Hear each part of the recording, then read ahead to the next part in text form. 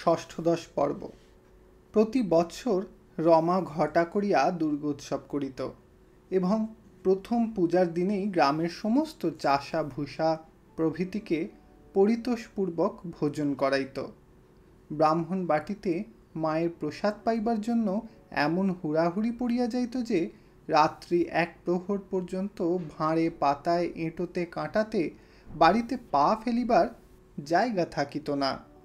শুধু হিন্দু নয়, পীরপুরের প্রজারাও ভিড় করিতে ছাড়িত না। এবারও সে নিজে অসুস্থ থাকা সত্ত্বেও আয়োজনের ত্রুটি করে নাই। চণ্ডীমণ্ডপে প্রতিমা ও পূজার সাজ সরঞ্জাম, নিচে উৎসবের প্রশস্ত প্রাঙ্গণ। সপ্তমী পূজা যথা সময় সমাধা হইয়া গিয়াছে। ক্রমে মধ্যাহ্ন অপরাহ্নে গড়াইয়া তাহাও শেষ হইতে বসিয়াছে। আকাশে সপ্তমীর খণ্ড চন্দ্র পরিস্ফুট হইয়া উঠিতে লাগিল। কিন্তু মুখুজ্জে বাড়ির মস্ত উঠান জন কয়েক ভদ্রলোক ব্যতীত একেবারে শূন্য খাঁ খাঁ করিতেছে। বাড়ির ভিতরে অন্যের বিরাট স্তূপ ক্রমে জমাট বাঁধিয়া কঠিন হইতে লাগিল। ব্যঞ্জনের রাশি শুকাইয়া বিবর্ণ হইয়া উঠিতে লাগিল। কিন্তু এখনও পর্যন্ত একজন চাষাও মায়ের প্রসাদ পাইতে বাড়িতে পা দিল না। ইস, এত আহার্য পেয়েও নষ্ট করে দিচ্ছে দেশের ছোট লোকের দল? এত বড় স্পর্ধা? বেনি হুঁকা হাতে একবার ভিতরে, একবার বাহিরে হাঁকা হাঁকি দাপাদাপি করিয়া বেড়াইতে লাগিল। বেটাদের শেখাবো, চাল কেটে তুলে দেব, এমন করব, তেমন করব ইত্যাদি। গোবিন্দ, ধর্মদাস, হালদার প্রভৃতি এরা রুষ্ট মুখে অবিশ্রান্ত ঘুরিয়া ঘুরিয়া আন্দাজ করিতে লাগিল কোন শালার কারসাজিতে এই কাণ্ডটা ঘটিয়াছে? হিন্দু মুসলমান এক মত হইয়াছে। এও তো বড় আশ্চর্য। এদিকে অন্দরে মাসি তো একেবারে দুর্বার হইয়া উঠিয়াছেন। সেও এক মহামারী ব্যাপার। এই তুমুল হাঙ্গামার মধ্যে শুধু একজন নীরব হইয়া আছে, সে নিজে রমা। একটি কথাও সে কাহারও বিরুদ্ধে কহে নাই, কাহাকেও দোষ দেয় নাই। একটা আক্ষেপ বা অভিযোগের কণামাত্র এখনও পর্যন্ত তাহার মুখ দিয়া বাহির হয় নাই। এ কি সেই রমা? সে যে অতিশয় পীড়িত, তাহাতে লেশ মাত্র সন্দেহ নাই, কিন্তু সে নিজে স্বীকার করে না, হাসিয়া উড়াইয়া দেয়, রোগে রূপ নষ্ট করে। সে যাক, কিন্তু সে অভিমান নাই, সে রাগ নাই, সে জেদ নাই। ম্লান চোখ দুটি যেন ব্যথায় ও করুণায় ভরা।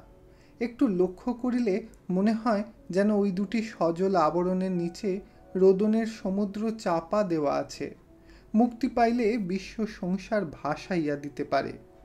চণ্ডীমণ্ডপের ভিতরের দ্বার দিয়া রমা প্রতিমার পার্শ্বে আসিয়া দাঁড়াইল। তাহাকে দেখিবা মাত্র শুভানুধ্যায়ের দল একেবারে তারস্বরে ছোট লোকের চোদ্দ পুরুষের নাম ধরিয়া গালিগালাজ করিতে লাগিল। রমা শুনিয়া নিঃশব্দে একটুখানি হাসিল। বোঁটা হইতে টানিয়া ছিঁড়িলে মানুষের হাতের মধ্যে ফুল যেমন করিয়া হাসে, ঠিক তেমনই তাহাতে রাগ, বিদ্বেষ, আশা, নিরাশা, ভালো, মন্দ কিছুই প্রকাশ পাইল না। সে হাসি সার্থক কি নিরর্থক তাহাই বা কে জানে? বেনি রাগিয়া কহিল, না না, এ হাসির কথা নয়, এ বড় সর্বনেশে কথা। একবার যখন জানব এর মূলে কে বলিয়া দুই হাতের নখ এক করিয়া কহিল, তখনই এই এমনি করে ছিঁড়ে ফেলব। রমা মনে মনে শিহরিয়া উঠিল।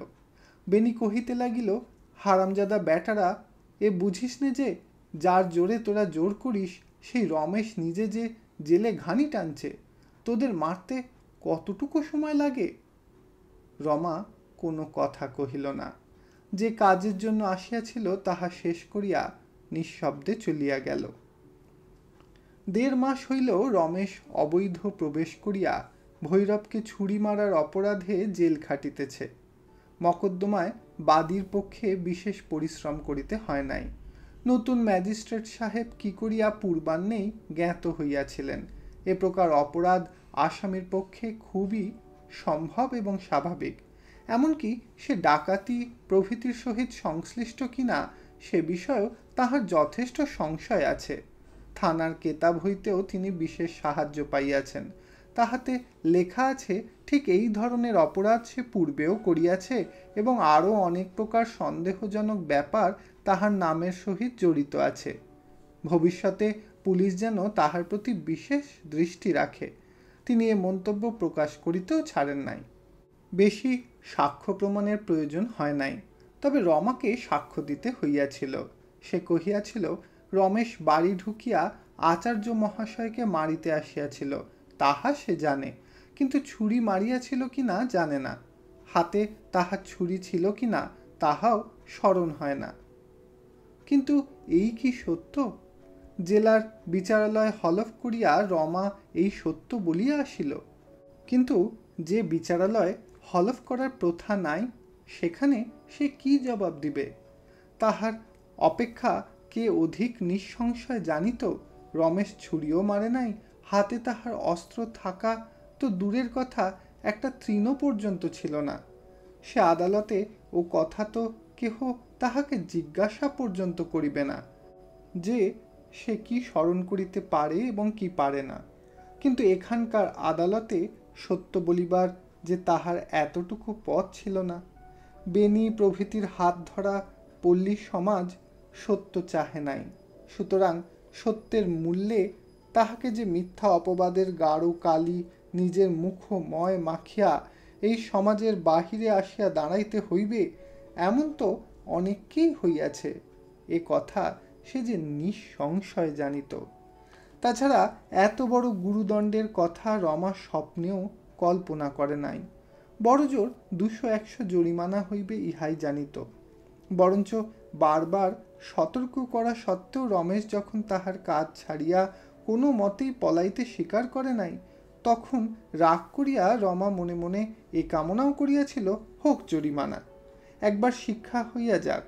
কিন্তু সে শিক্ষা যে এমন করিয়া হইবে, রমেশের রোগক্লিষ্ট পাণ্ডুর মুখের প্রতি চাহিয়াও বিচারকের দয়া হইবে না একেবারে ছয় মাস সশ্রম কারাবাসের হুকুম করিয়া দিবে, তাহা সে ভাবে নাই।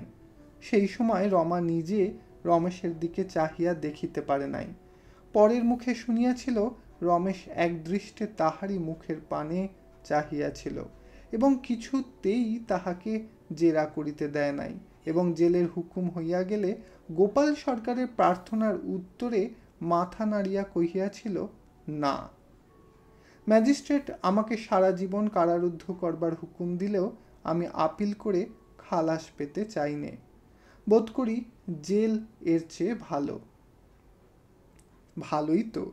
তাহাদের চিরানুগত ভৈরব আচার্য মিথ্যা নালিশ করিয়া যখন তাহার ঋণ শোধ করিল এবং রমা সাক্ষ্যমঞ্চে দাঁড়াইয়া স্মরণ করিতে পারিল না তাহার হাতে ছুরি ছিল কি না তখন আপিল করিয়া মুক্তি চাহিবে সে কিসের জন্য? তাহার সে দুর্জয় অভিমান বিরাট পাষাণ খণ্ডের মতো রমার বুকের উপর চাপিয়া বসিয়া আছে। কোথাও তাহাকে সে নড়াইয়া রাখিবার স্থান পাইতেছে না। সে কি গুরু ভার? সে মিথ্যা বলিয়া আসে নাই। এ কৈফিয়ত তাহার অন্তর্জামিত কোনো মতেই মঞ্জুর করিল না। মিথ্যা বলে নাই বটে, কিন্তু সত্য প্রকাশও করে নাই। সত্য গোপনের অপরাধ যে এত বড়, সে যে এমন করিয়া তাহাকে অহরহ দগ্ধ করিয়া ফেলিবে, এ যদি সে একবারও জানিতে পারিত, রহিয়া রহিয়া তাহার কেবলই মনে পড়ে, ভৈরবের যে অপরাধে রমেশ আত্মহারা হইয়াছিল, সে অপরাধ কত বড়। অথচ তাহার একটিমাত্র কথায় সে সমস্ত মার্জনা করিয়া, দ্বিরুক্তি না করিয়া চলিয়া গিয়াছিল। তাহার ইচ্ছাকে এমন করিয়া, শিরোধার্য করিয়া কে কবে তাহাকে এত সম্মানিত করিয়াছিল? নিজের মধ্যে পুড়িয়া পুড়িয়া আজকাল একটা সত্যের সে যেন দেখা পাইতেছিল। যে সমাজের ভয় সে এত বড় গর্হিত কর্ম করিয়া বসিল, সে সমাজ কোথায়?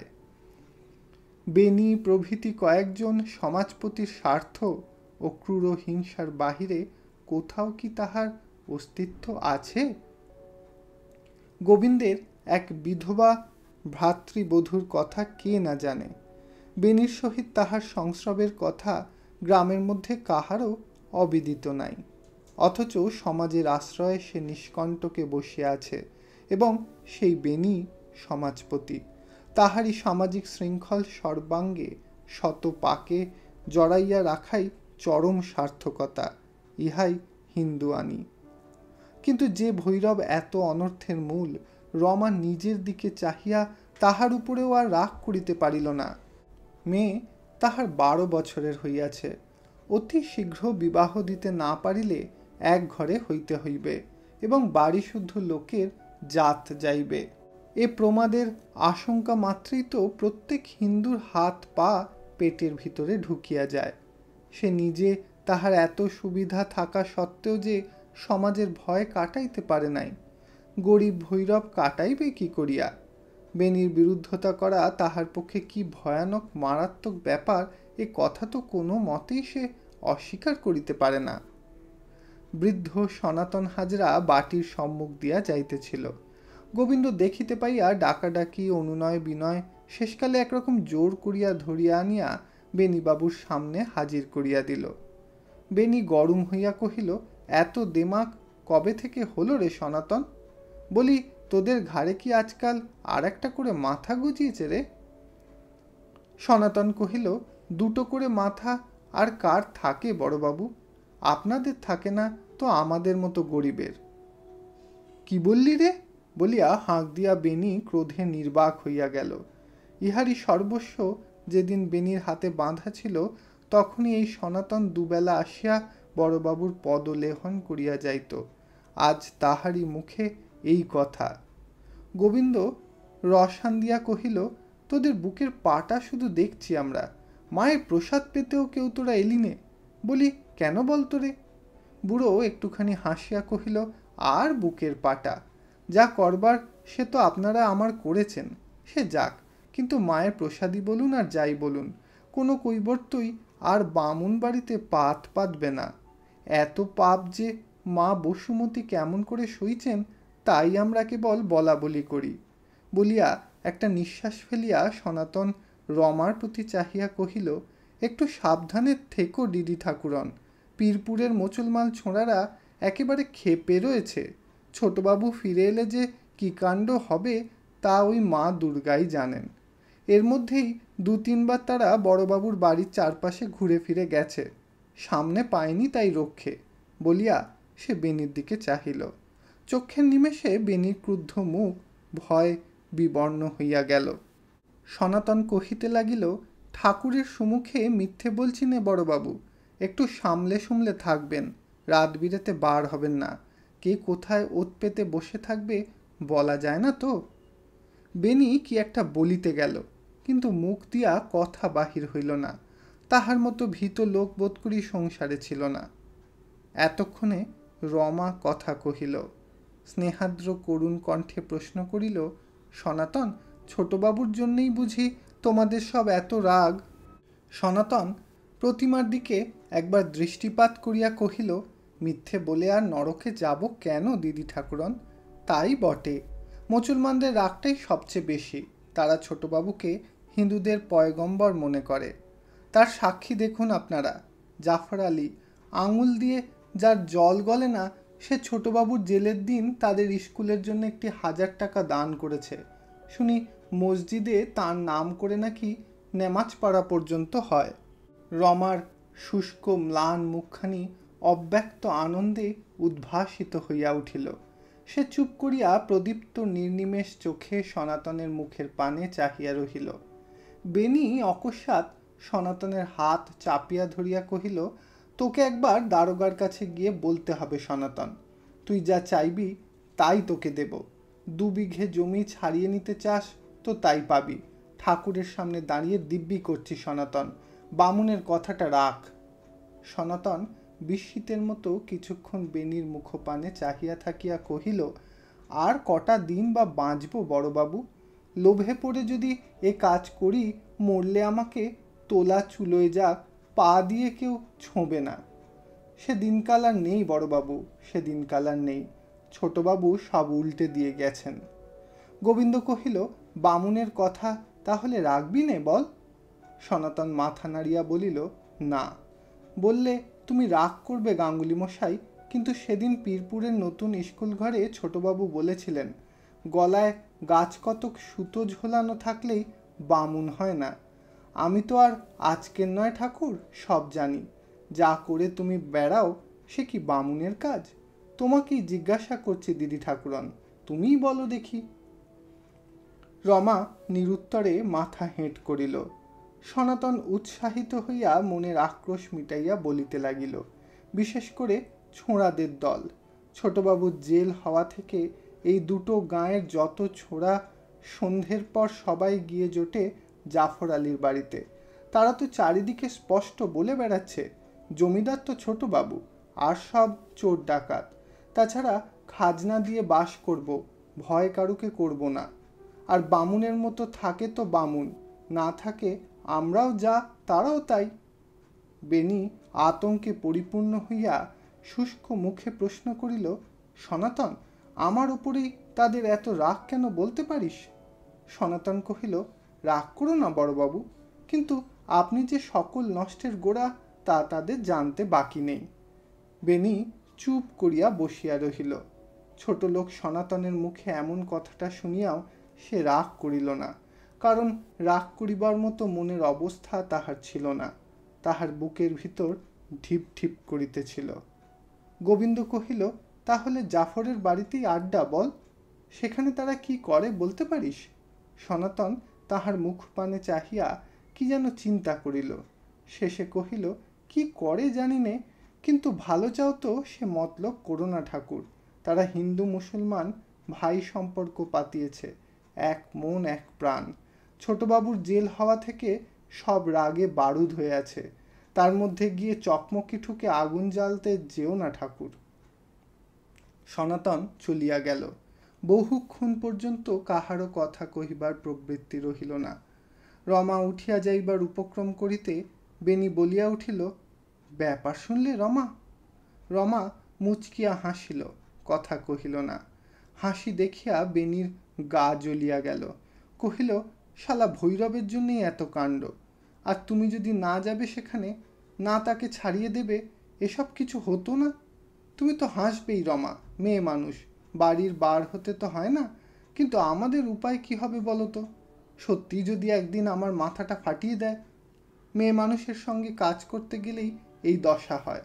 বলিয়া বেনি ভয় ক্রোধে জ্বালায় মুখখানা কি একরকম করিয়া বসিয়া রহিল। রমা স্তম্ভিত হইয়া রহিল।